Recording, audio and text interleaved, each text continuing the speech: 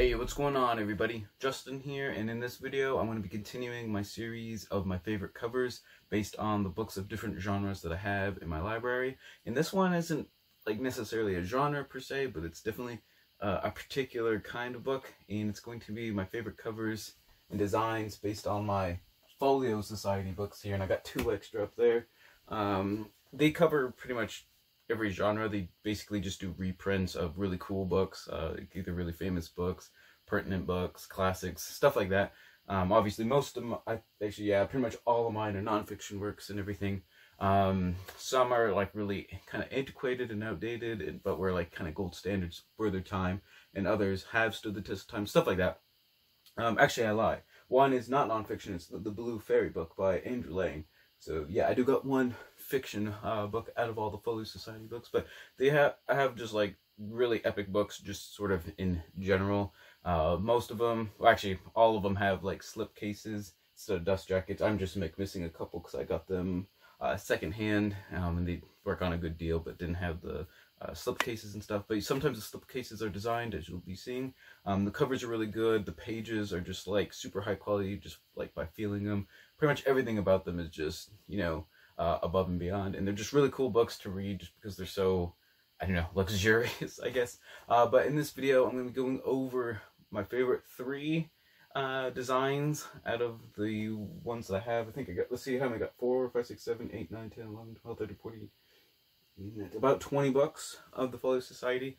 Um, and all of them, in their own right, are pretty much super epic design-wise, except maybe my Anglo-Saxon England one is kind of boring. It's just kind of blue and kind of old fashioned looking, but everything else has like really cool designs and everything. Um, but yeah, let's just uh, get started. Also, I'm putting my links up to the other genres that I've done so far. I've done my favorite science covers and my favorite uh, history book covers.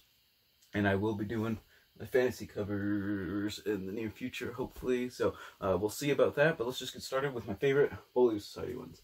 The first one is going to be The Vikings by Gwyn Jones, and this is supposed to be um, a really, really uh, seminal work sort of in the field of Viking studies. Uh, I think last year I read like four books on the Vikings, and I purposely was like leaving this one out. All those ones that I read were like three or four stars. They're like, you know, they were okay, but not like anything outstanding. And I'm hoping this one is supposed to be like really, really good, which is sort of why I was putting it off till later. Um, though it's definitely high time that I, you know, get to it. So first off, we got sort of the slipcase here. Uh, obviously, kind of like the matching maroon red uh, kind of color. We got like a long ship with some like Futhark writing um, and everything over it. Just kind of really cool. There's like a dead guy too in the water, if you can see that, with like a sword through him, and the fishies and the krakens are like eating him and everything. Just kind of neat. And then you got the uh, the spine here, Vikings, Gwyn Jones. Um, it is kind of silly. They do have the horned helmet, which is kind of unfortunate. Um, obviously, that's just sort of in the Viking uh, uh, people's like imagination and just the kind of the public conscious of you know Viking stuff. Even though it's pretty much been debunked for about a hundred years now that they never really were horned helmets. I think they technically have excavated one horned helmet, though it didn't really look like that. That's actually more like there's like a horned helmet from the Celtic Age that kind of looked like that. Um, there's like one Bronze Age Scandinavian helmet that has like really long horns, but would not have been like used in battle or anything like that. It was probably like a priestly type cast type helmet. Um, but anyways, it's got a really cool spine. It kind of matches some of the other like kind of like warrior ones. Like you got the Celts and the Normans and stuff with sort of like their like arms and armament and just some sort of like motifs from whatever culture that is. So we take it out of the slipcase. And then we got the same design on the cover. However, we have the you know the long ship or whatever, um, but it's completely surrounded by Jormungandr, which I think is really cool. Just having like the Midgard serpent, uh, and it's even he's even um, eating his tail, kind of like in the lore, to kind of hold the seas and the oceans and the uh, uh, uh, Midgard together, which I think is just really cool. Overall, just like an epic looking book. Definitely one of my favorites. Like I said, it's kind of hard just to narrow these down anyway, so uh, probably any of these top three ones will probably count as like my favorite at one point in time or another. Uh, but just really cool. And Jormungandr itself has more like kind of Viking uh, motifs just sort of uh, strewn out through it. Um, I don't know if any of these are actually taken from anything specific or if they're just sort of designed um, uh, by the artist. It just yeah, it says a design by Simon Noyes, so it's not necessarily based on anything in particular. And just like look at this like random guy being like choked by like two snakes, or not quite sure exactly what they are, but you can see that right there probably. Hopefully, yeah, hopefully like the ring light doesn't make it like too like super shiny, so you can't like see it or anything. Uh, but yeah, definitely one of my favorite ones from the Folio Society. All right, next up, probably go with one of the ones up here that you can't see yet. But I have two volumes here um, out of eight of The Barbarian Invasions of the Roman Empire by Thomas Hodgkins. Uh, this was the first one, uh, which is the Visigothic Invasions. And like I said, there's eight volumes in this series. I have the first two. These are like super outdated. Uh, I think they're originally from the 1890s, I want to say. 1880s or 1890s. Um, but I think it's going to be fun when I do get to it for kind of more of a historiographical uh, purpose, if that makes sense, sort of reading about how people in the very like late 1800s sort of viewed, you know, the fall and the sack of Rome um, kind of as like more of a seminal event than uh, scholars today kind of view it as more of a kind of a transitional period more than just like a you know cut and dry you know Ro the Western Roman Empire just like fell like all of a sudden from the barbarian invasions. That's sort of been disproven as well, but I think it'd be kind of interesting just to sort of look at it. Though it is a like volume series of craziness. Uh, but yeah, like I said, this one's on the Visigoths. And we'll look at the slipcase. It looks like we got like, sort of like the sack of Rome um, or something like that kind of going on in, the, you know, the scenery. This is sort of what it looks like. Some of the buildings are either like smoking or they're on fire, things like that. Or just, it might be just like really misty and everything, but looks like kind of like the sack of Rome going on. And then if I was, you know, if you're in doubt, both the back uh, cover and the front cover have this like super epic wood plate of the actual sack of Rome, and there's no no sort of uh, disguising that. Uh, in 410 uh, AD or CE, um, Alaric in the Visigoths sacked the city of Rome uh, for real. In uh, even though the Western Roman Empire didn't fall at that time, it's because uh, the capital of yeah, even just the Western Roman Empire was not at Rome. Um, for the last like 200 years or so, it was kind of like all over the place. Sometimes it was in Gaul, uh, but lots of times it was in uh, um, like Ravenna and Milan and stuff. So you know, when Rome fell, it really at 410, it really wasn't a big deal because it wasn't it wasn't really the um, the center of uh, political power anymore, even in the Western Roman Empire. So um, I find that kind of interesting. And plus, as far as sacks go, uh, Alaric basically said, you know, we'll do it for three days, and if you hide in the churches and stuff, we're not gonna like touch those and everything. So, like, it really wasn't like just you know all just like rape and plunder and stuff. I'm sure some of it probably happened, but overall, it was pretty tame for a sacking. It was more of a more of a demonstration and more of a show of show of force, something like that. Um, if you study uh, Roman history at all, and oh, just this woodcut print is from if I can find it. We got, see, binding illustration, Alaric's Visigoth Sac Roman 410 from Steph Stefanoni's Storia d'Italia, 1885. And then the slipcase, so the slipcase picture, Roman sacked by the Visigoths by an unidentified artist from, it says 19th century. So, anyways, I just find this one really enjoyable. Um, in the series, it looks like the slipcases are all the same, but the front uh, covers and back covers are uh, sort of the same design of woodcuts, but of depend different, you know, obviously images depending on what the topic is. Because uh, the second one is about the the Huns and the Vandals, and I think Attila the Hun or one of his um, or one of the Huns is on the cover of that one. But overall, this was really cool, and it would kind of it'd be like super epic if you had like all eight. You had them just sort of like splayed out like that, almost like showing all the different woodcuts. I think that'd be pretty epic. All right, and then for my favorite, and like I said, probably pretty difficult just like picking one. If I really had to come down to it, I'm going to go with The Celt by Nora Chadwick.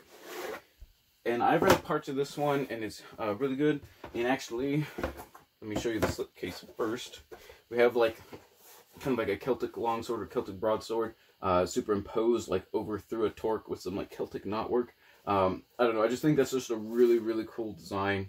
Uh, I don't know. Torques are just really cool. If you guys don't know what those are, um, in Kel- especially in Celtic society, they were uh, like gold.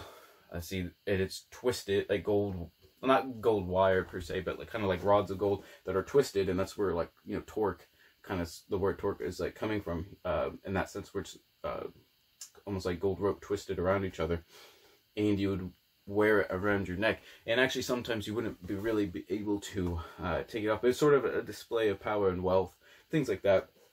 Just a really cool kind of Celtic motif kind of going on. So I like that. And then you take off, take it out of the slipcover. Uh, first we'll look at the spine, the Celt by Nora Chadwick. And it's got kind of like, you know, what we consider like kind of Celtic iconography. Um, or calligraphy, I guess, from sort of probably like medieval Ireland, something like that. Uh, but then we got like Celtic motifs going on. We got like the torque, uh, like some chariot wheels, stuff like that. And then like a, I don't know if you can see that, but like a, a Celtic fibulae, which would like, it's kind of like a brooch um, sort of thing kind of going on. So yeah, I think that one works really well, especially with like all these things um, as well. And then we flip over to the front cover and we've got the same design with the kind of Celtic knot work uh, with the long sword kind of going through it and then the torque. Then plus just tons of Celtic motifs that I are based off some uh, designs. Like I have seen some of these sort of before or they're based on designs um, from different like Celtic artwork. Things like that. Like there's some more like fibulae. Uh, oh, like the Bowie eye. Oh, I forgot what that's called. The trip. I don't think it's really a triptych, but it's. Oh, there's a there's a special word for it. I'm just like totally like losing it. And then we got like the ball, or the the boar. I, I like combine like Gaul and like the boar for whatever reason. Um, the boar being a very heavily um, Celto-Gallic uh, symbol, everything like that. Just think it's really cool. Then you've got like a Celtic cross and everything, and more fibulae.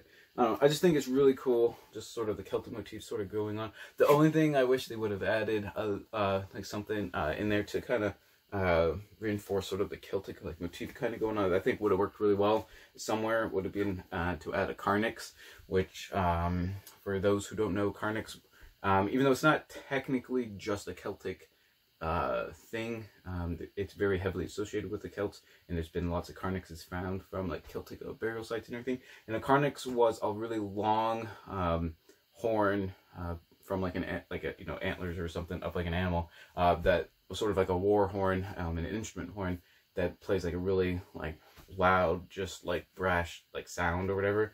Um, but like I said, it's like several carnyxes have been found uh, at Celtic burial sites and everything, and it's just really cool. You should definitely go check that out, uh, like online or something. But yeah, overall, I just think this Celtic design just really aesthetically pleasing.